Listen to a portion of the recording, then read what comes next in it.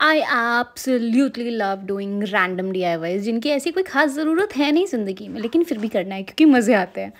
तो मुझे ना ये बड़े फैंसी से मिरर बहुत सही लगते हैं बट मार्केट में वो हैं बहुत एक्सपेंसिव तो शायद 600 से 700 रुपए का ये मैंने राउंड मिरर कटवाया था अपने लोकल स्टोर से। इसके पीछे मैंने वो नॉब्स या क्या बोलते हैं हैंगिंग बोलते हैं, वो लगवा दिया हुआ है। तो ईज़िली मैं तो इसको हैंग कर सकती हूँ। तो इसको मैंने कन्वर्ट किया बीच मिरर में। कैसे? शेल्स, कौड़ी मोती, इन सबको मैंने ग्लूगन के हेल्प से पहले हमने चिपकाया। फिर फेविकॉल की अच्छी खासी लेयर लगाई और उस पर हमने ऐड कर दी पीओपी गमले की मिट्टी और अंट शंट सारा सामान, जिससे वो एक बीच वाला इफ़ेक्ट थे। And and it worked out अच्छा लगा देखने में। बस बेवकूफ़ी तो करनी होती है मेरे को।